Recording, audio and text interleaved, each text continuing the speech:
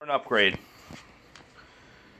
Dubia roaches are getting a huge upgrade. Um, it's like a 23 gallon tub. Everything sits nice and full in there. Just gotta do some mods. But they need a little more real estate. No. Dubias like air circulation. They like air circulation. They like to be hot. So, um, I'm going to go with this 70 millimeter hole saw. And we're going to go with some holes.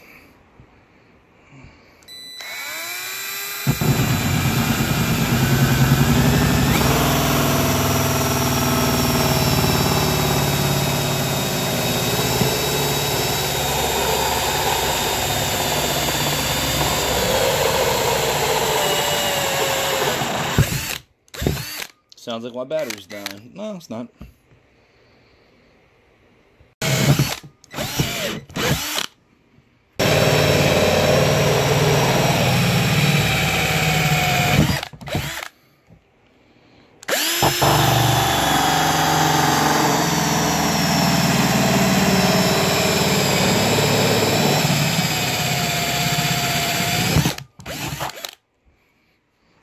Four holes. Now I got some good circulation. Now it's time to uh, make some screens. Hot glue them.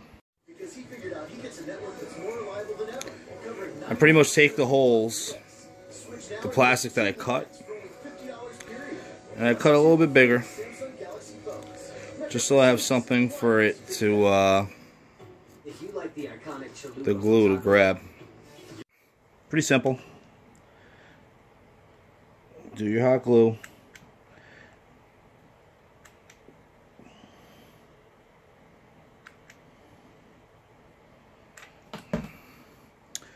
Place it down. Line it up. And then I use the, the tip just to push it in.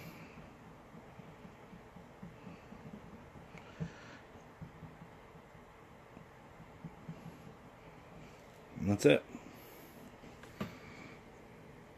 So glue.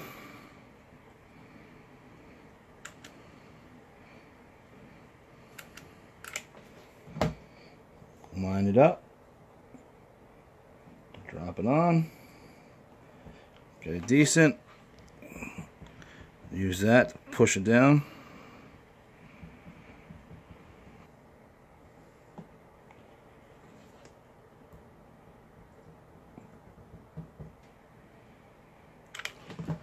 Hot glue, line it up, tap it down, hot glue, line it up, tap it down.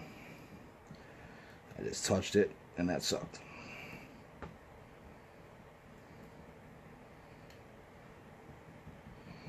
Alright, so now those are all set for a quick. Then what I do is I do like a insurance one. So I'll literally put a lot Because I don't want nothing escaping.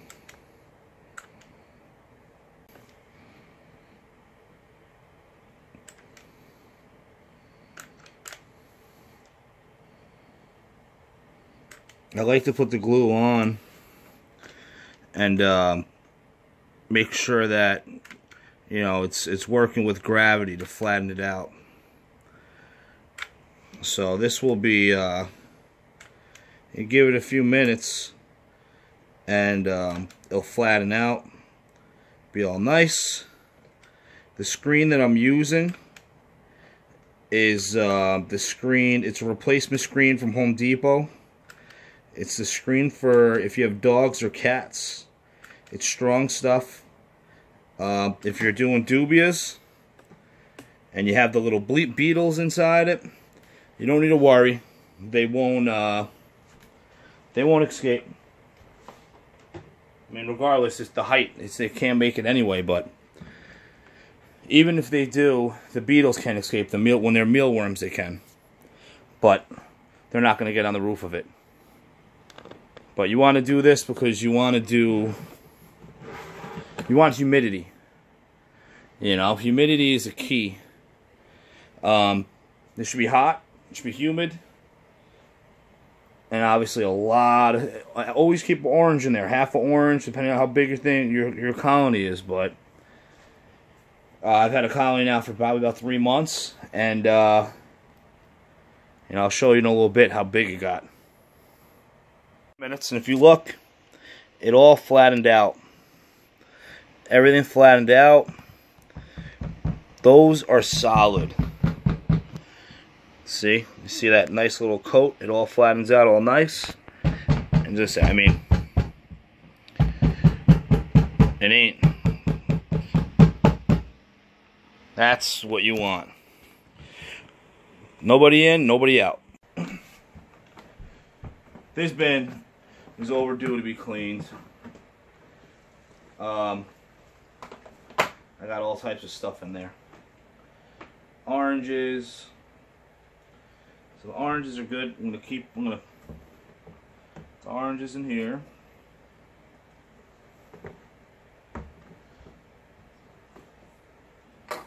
Move that stuff over. But as you can see, you see all these containers. This is what I use for feeding my. Uh, alive? You alive? nope. Um, this is what I use to feed my uh, crested geckos. So what happens is I um, I transfer them over. I uh, the geckos always leave something.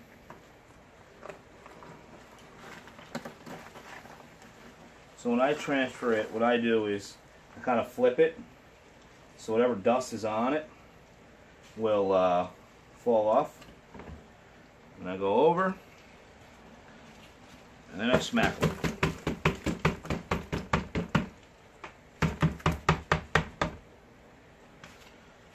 Flip it over. So I'm excited about this big bin because it has height. So I won't have to be so paranoid about doing it inside my house. Um, I typically do this outside.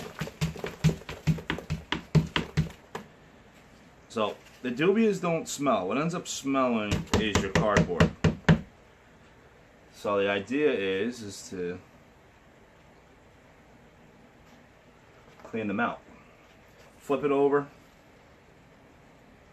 Go over here tap, flip it over, same thing, tap, and in the garbage. So now I'm, I'm going to do a quick clean.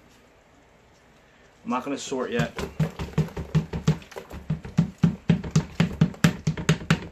I'll sort another day.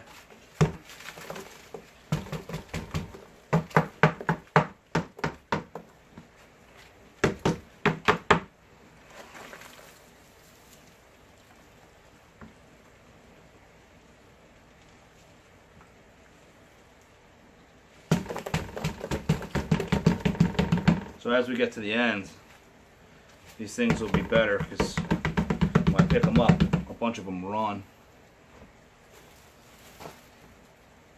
Like so.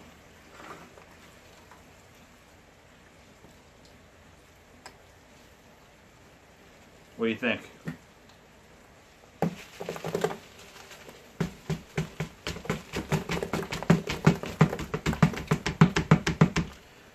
Key thing is is good food and and fresh food.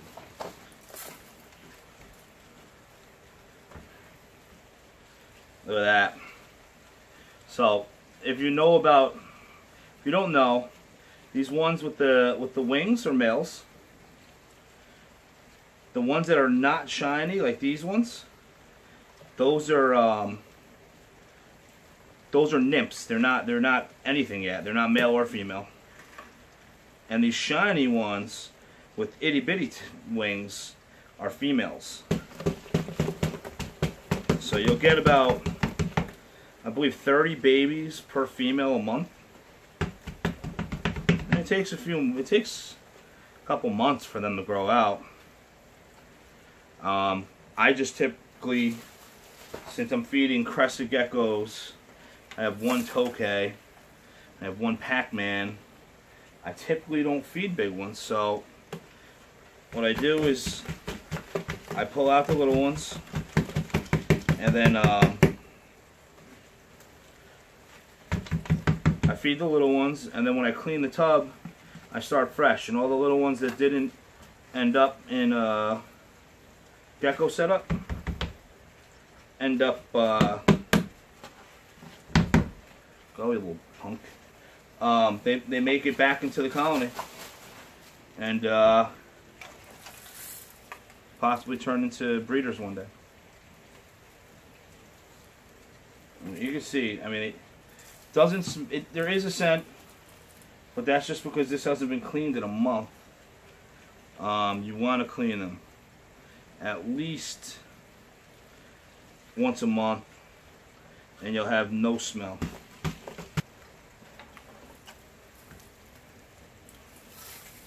Hear it?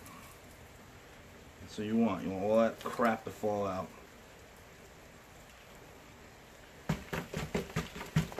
I like the height of this because in the wintertime where I can't do this outside, now I can do this here and not worry about fucking roaches escaping. Beauty of it is I live in New York. Um, I live in New York, man. New York gets cold. So, these things like to be, uh, they breed at 90 plus degrees, and that's the key thing. Um, they can't, they're not, they're not going to last long in the winter. So, it won't be invasive to New York. And your house unless you keep your house at 90 degrees, they're not going to breed in your house. And, uh, you know, these things eat a lot. You know, I mean, I would, they're going to die. They're not, they're not going to survive.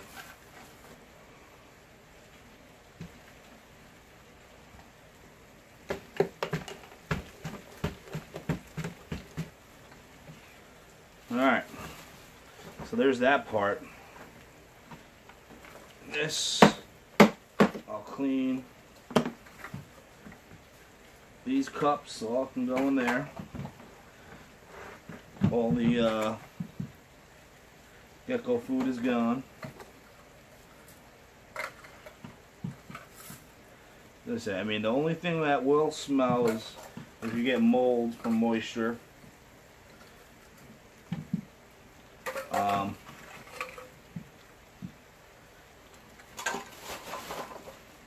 from moisture and uh, rotten fruit. Other than that, it doesn't smell. It's awesome. That's what's the coolest thing about these things. They they really don't smell much. They um,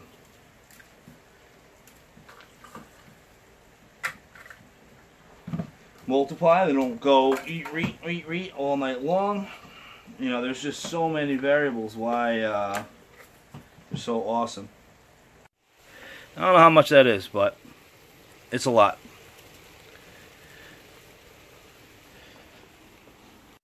I put a couple in here just so that they can help me catch catch some dubias.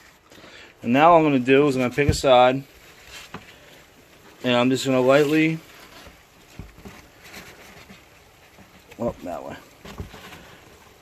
I'm going to just lightly place them in so that um, they got something.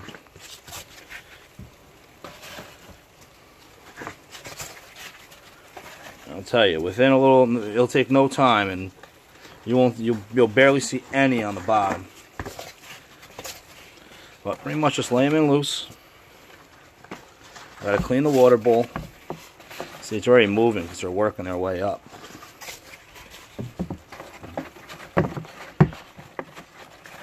That's it. See? You just watched me put that in. And they're ready all over. What I'm going to do is I'm going to, as you look, you don't see much anymore because they're all inside there. That's where they're all at. So, put it loose, push it up there. I rinse my water bowl. I got a bottle. I put a hand, like, put a bunch of the Miracle-Gro water crystals for the plants. Yep, I do not buy Dubia crystals. Fill that up.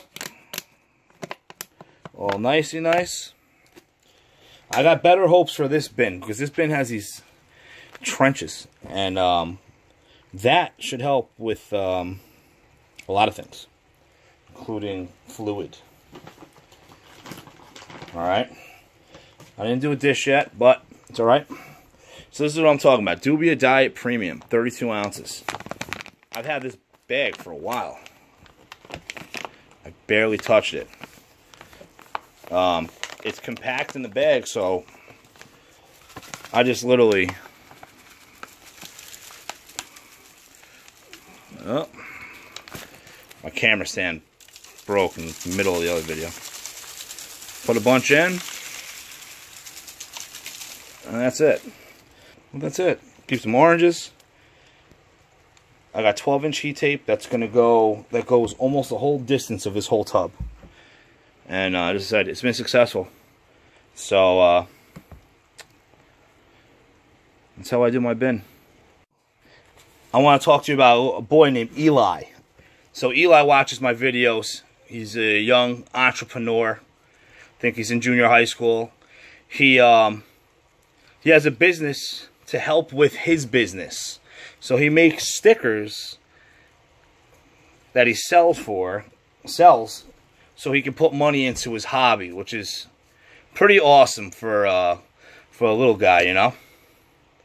So um, he mailed me this letter, lots of thank yous, and this is a tough businessman, I tell you, because between negotiations for me to advertise for him I got one sticker. Yep. So Eli's Reptile Supplies. He currently sells stickers.